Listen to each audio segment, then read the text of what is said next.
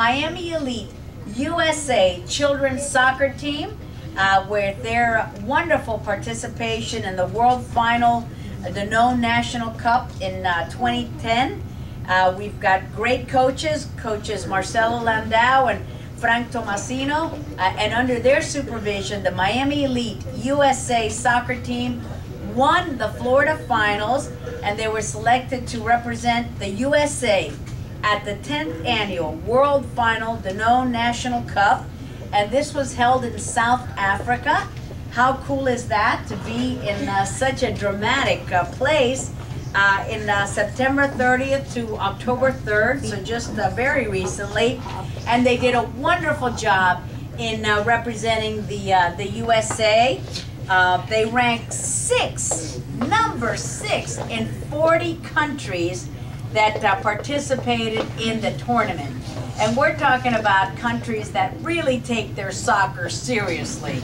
Um, 1,100 children uh, took part in this, in this tournament, representing 40 countries, among them Mexico, Germany, Spain, England, South Africa, Uruguay, uh, how tremendous. It's unbelievable that you guys did so well. You must be truly fantastic soccer players.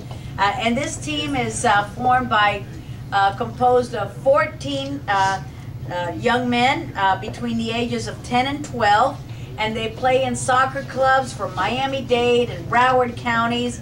And Johnny Nelson, who is a player from Ohio, he was also selected for the team and this is the world's biggest soccer tournament for this age group.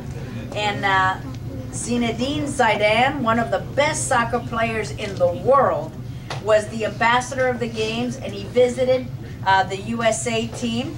Now, half of this team, they reside in my congressional district. I think that's what made you the winners that you are. and uh, our office uh, was so happy to uh, to help this young man, Matias Reinares. Uh, we got him the, the travel documents in a very speedy way so that he was able to fly with his team and uh, get the team uh, to South Africa.